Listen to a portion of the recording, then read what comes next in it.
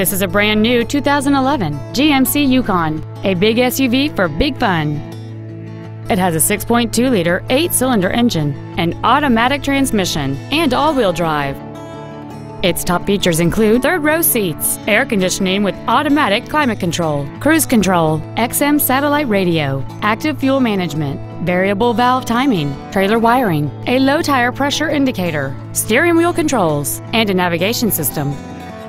This vehicle won't last long at this price. Call and arrange a test drive now.